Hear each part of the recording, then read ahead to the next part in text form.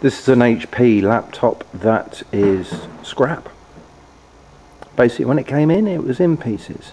What we're going to do is we're going to strip it down to recover the gold and precious metals off it.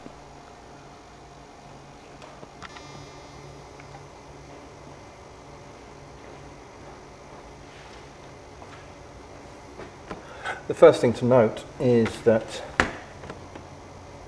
we've already removed the keyboard and the screen's already separated. Rear of a modern HP, just pull those two apart and the base will come clean off. It's plastic, it's useless, can't even be recycled. Although saying that hard plastics, you might be able to get something out of it, you never know.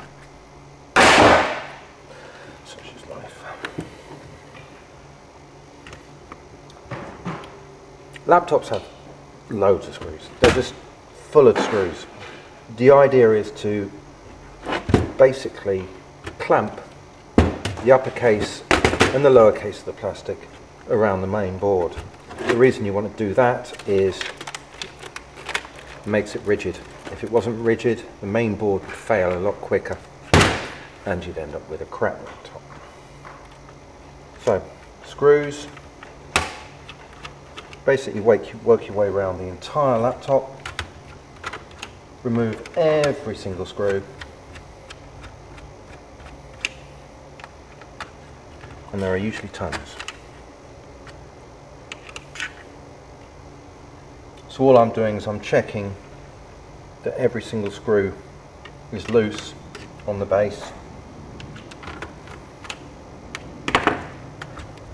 And once you've confirmed that, you should be able to pry so now we've got access to the laptop. Mainboard fan heatsink and the processors located under there. Here you can see the two memory slots. These are the Wi-Fi and Bluetooth modules here. Hard drive connector is in there. This one's got a SATA connector and then this SATA connector here is for the CD drive or optical drive which slots in there. The first thing to do, remove the fan. The fan itself, laptop fans unlike fans that you'd use to cool yourself in the summer are made on the cheap. Money that is sunk into them is in the bearings.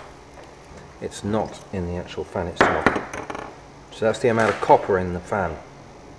It's virtually worthless and certainly not rec worth recovering.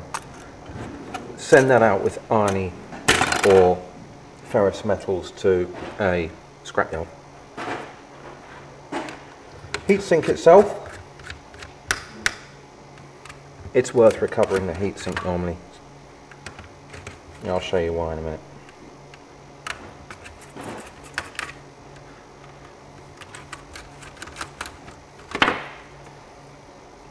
That is obviously aluminium because you want the laptop to be as light as possible.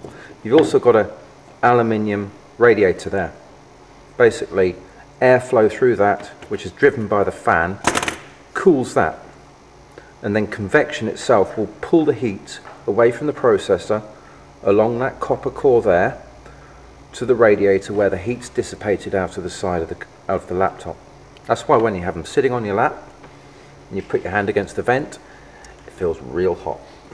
Anyway, you've got aluminium, both ends, and copper. Down a normal car scrapyard, car dismantlers, or a, or, a, or a scrap metal merchants, that would be considered radiator alley and that's about 1,300 quid a ton. So about two to three thousand dollars a ton. It's well worth keeping. Board itself, again, gonna be so many screws, it's gonna be unbelievable. And this one's got a star on it. So sometimes it's not worth messing around with them.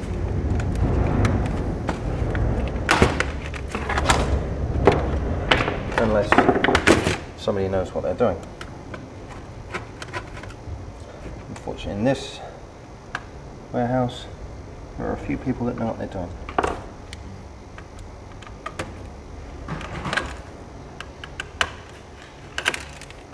One of the problems is that screws are hidden in all sorts of locations, particularly around connectors.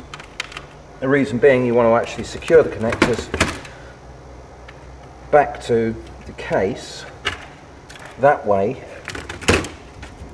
the connectors are less likely to fail.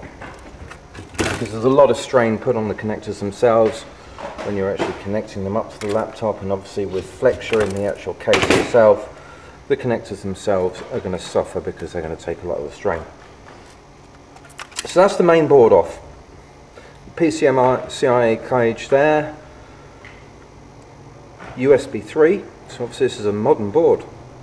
USB 2 there, FireWire 800 and an SD card slot there.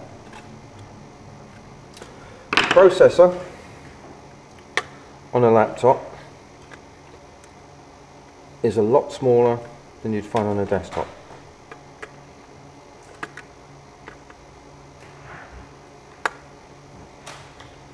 And it's usually a case of twisting that there, which obviously moves the entire cage across, which means that this processor itself is going to have pins on the underside.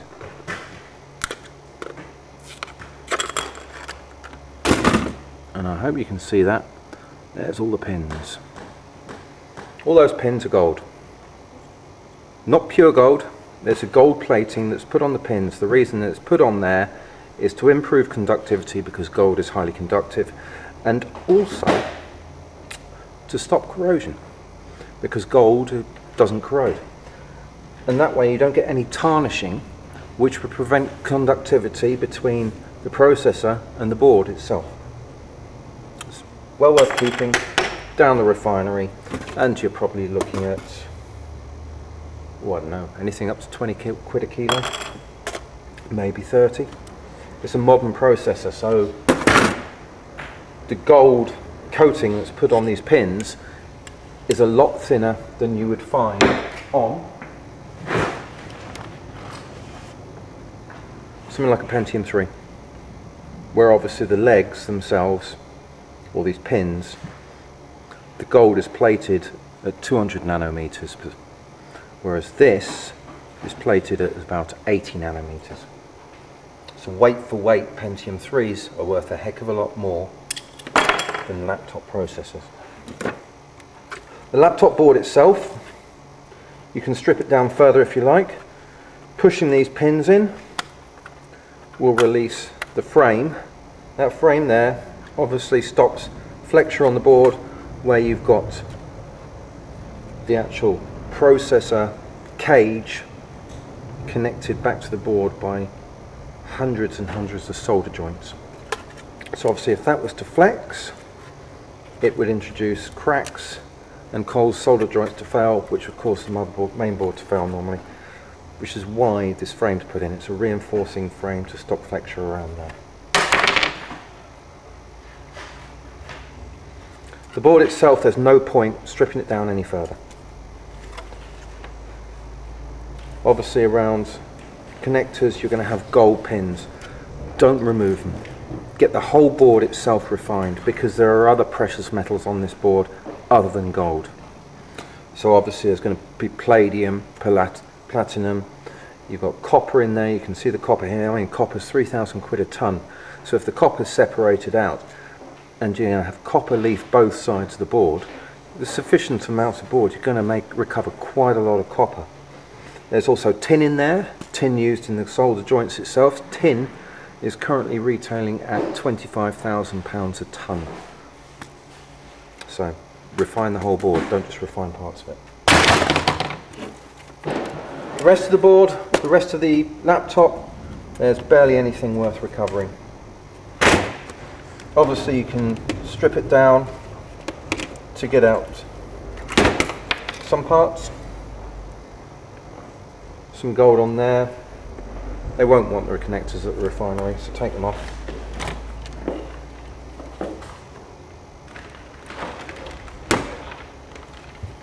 And this laptop, strangely enough, has a separate board for connecting the USB and sound. As you can see when you strip it back, no gold on there. It's just copper connectors. Copper on the board itself. Tin, obviously on the solder joints, because this is uh, a modern laptop. Therefore, it's RoHS compliant, as in the restriction of hazardous substances, so you're not allowed to use lead solder anymore in them. The trackpad, unless you want to sell the trackpad for spares, there's no point recovering it. You always put it on eBay, trackpad. In fact, you could probably put the top case on trackpad. Oh, sorry, on eBay. Trackpad. On eBay.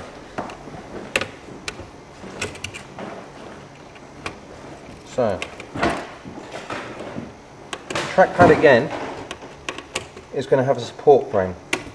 And the support frame again is going to stop flexing on the trackpad because the trackpad is going to have a lot of delicate circuits on it. The reason being it's got to know where your finger is at any time. So, off the support frame. In this instance, the support frame itself includes the buttons. So, can we get the trackpad out? Probably not on this laptop. It's only integrated.